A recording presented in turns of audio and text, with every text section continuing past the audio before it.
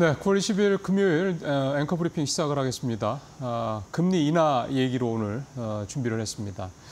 자, 이 4년 반 만에 이제 금리가 이제 내려가는 이런 피벗 상황이 이제 벌어졌죠. 어, 올해 말까지 50bp 정도 더, 내년에는 연간으로 한 100bp 정도 더 내려간다고 하니까 5.5%부터 시작을 한다 그러면 2%포인트, 그러니까 3.5%까지 일단 내년 연말까지 어, 금리가 더 내려갈 가능성이 높다. 이게 현재까지 일반적인 전망입니다. 그렇게 되면 금리가 2%포인트나 움직이기 때문에 어, 이 투자에 있어서 어, 여러 가지 상황이 벌어지지 않을 수가 없습니다. 한마디로 머니 무브 현상이 이제 글로벌하게 발생할 수밖에 없다 이런 얘기가 되는 건데요.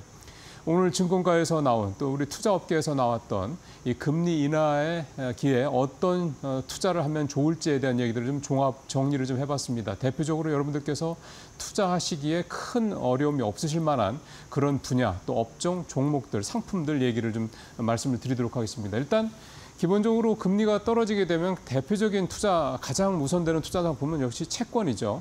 어, 단기채 또 장기채 이렇게 보통 나눠서 얘기를 하는데 일단 지금 보시는 어, 차트는 미국의 국채 1년물입니다. 3.95% 그리고 무엇보다 중요한 거는 이 방향성이죠. 계속해서 최근 3개월새 그래프를 보더라도 계속해서 어, 금리가 떨어지는 그런 모습이 나타나고 있습니다. 10년물도 함께 같이 보시겠습니다.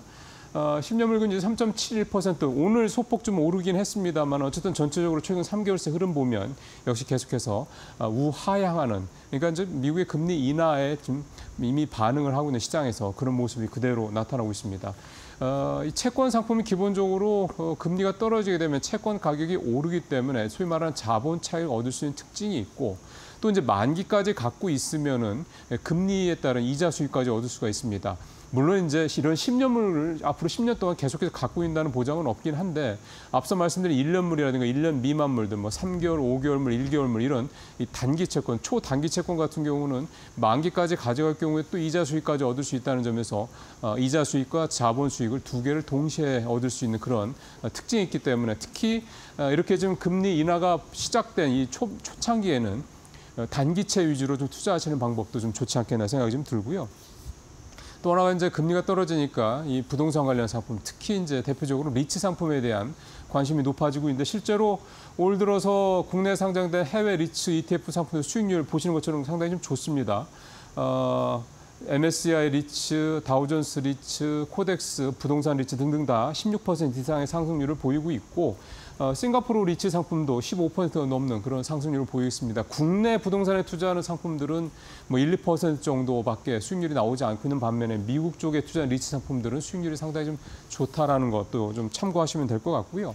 또 이제 금리 떨어지면 또 금 얘기 안 할 수가 없죠. 기본적으로 어, 미 금이라는 게 미국 달러와 같이 또 미국의 국채 금리와 역의 상관성이 있기 때문에 거꾸로 간다는 얘기가 되는 거죠. 그래서 금도 가격이 계속 좀 오르고 있습니다. 꾸준히 좀 오르는 모습들이 나타나고 있고 연초에 비해서 계속해서 좀 오르고 있는데 이거는 어, 국내 KLX의 거래소에 이제 상장이 된 금 현물 ETF 상품의 어, 그래프인데요. 계속해서 좀 오르고 있죠. 어, 연초 대비해서 지금 26% 정도 올랐다고 그러니까 올 들어서 뭐 이 정도면 굉장히 양호한 그런 수익률을 내고 있는 상품이라고 볼 수가 있겠습니다. 또 금 같은 경우는 이제 어, 혹시라도 이번에 50pp를 연준이 내리면서 경기 침체에 대한 걸 감안한 게 아니냐 이런 얘기도 많이 나오고 있었는데요. 뭐 연준에서 보험적으로 올려 뭐 내린 거다 뭐 이렇게 얘기를 하는 걸 차치하더라도 어, 미국의 경기가 나빠지면 또 이 불황시에 안전자산 대표적인 게 금 아니겠습니까? 그래서 이제 금에 대한 투자도 역시 지금 시점에서는 많이 오르긴 했는데 어, 높은 아주 높은 수익률을 뭐 기대하지만 않는다면 안정적인 그런 투자 상품이 될 수 있다 이렇게 볼 수가 있겠습니다. 그 다음에 또 하나가 금리가 떨어지면 어, 대표적으로 글로벌 자산 중에서 신흥국 투자에 대한 관심이 높아집니다. 어, 지금 보시는 차트는 브라질 헤아라 차트, 달러 대비 헤아라 차트인데 계속 떨어지고 있죠. 엔달러랑 똑같습니다. 떨어질수록 레아라, 그러니까 브라질 헤어라의 가격이 어, 가치가 높다 이런 얘기가 되겠습니다. 반대로 이제 또 하나 보죠. 멕시코 페소와도 또 하나 이제 관심 그런 이제 신흥국 어, 통화하긴 한데 역시 마찬가지 그림이죠.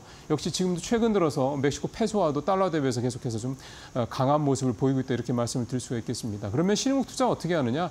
보통 ETF나 펀드도 있고 그다음에 국채 투자하는 방법도 있는데 우리나라 분들 특히 자산가분들 브라질 국채 투자 반복적으로 많이 해 오시고 계시는데 예를 들어서 이렇게 브라질의 레아라가 강세를 보이게 되면 브라질 국채를 투자했을 때 일단 금리가 기본적으로 두 자릿수니까요.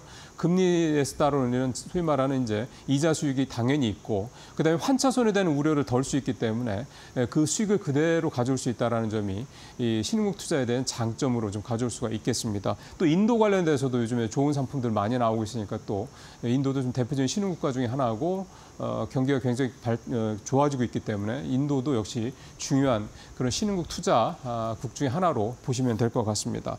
자, 그 다음에 주식 쪽으로 좀 넘어와서 보면요. 이제 주식은 역시 어, 대형주보다는 중소형주에 대한 관심이 좀 높게 나오고 있는 게 일반적입니다. 오늘 아침에 뉴욕 시장에서 마감된 러셀 2000 지수인데 보시는 것처럼 왼쪽 위에 보시면 2.1%좀 상승을 했습니다. 물론 뭐 오늘 뭐 나스닥이 2.3%더 오르고 해서 전체적으로 가장 높은 상승을 보이지는 않았습니다만 올 상반기 때도 빅테크들 중심으로 나스닥이 조금 조정을 보일 때 러셀 2000주가 굉장히 그때 강하게 그 주가가 올랐었던 지수의 가격이 올랐었던 거 아마 기억하시는 분들 많으실 텐데요. 이제 금리 인하가 본격화됐으니 러셀 2000을 중심으로 한 이 미국 중소형주에 대한 투자도 관심을 가질 법합니다. 중소형주 투자에 대해서 금리 인하와 이 수혜주라고 얘기하는 거는 중소형주도 대부분 대형주에 비해서는 자금 여력이 좀 넉넉치 않기 때문에 금리가 떨어지면 대출 받는 데 따른 이자 부담이 줄어들게 되고 또 투자하기 투자를 받기에 좋은 여건이 만들어지기 때문에 보통은 이제 이렇게 금리가 떨어지면 중소형주들이 수혜를 입는다 그렇게 보통 얘기를 하죠. 그다음에 이제 국, 업종 중에서는 국내를 중심으로 봤을 때 바이오 업종이 일단 가장 우선시 얘기가 나오고 있습니다.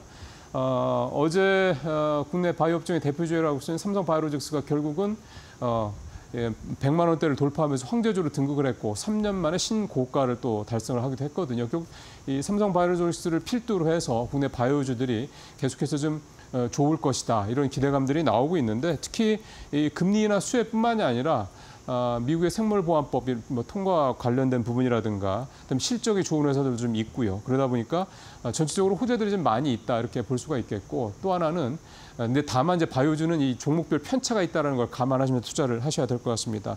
어, 바이오 업종 외에도 뭐 대표적으로 증권 업종, 그 다음에 자동차 업종, 그 다음에 건설 업종들이 금리나 수혜 업종으로 대표적으로 거론이 됩니다. 근데 이제 결국 중요한 건 어떤 종목이냐라는 부분일 텐데요.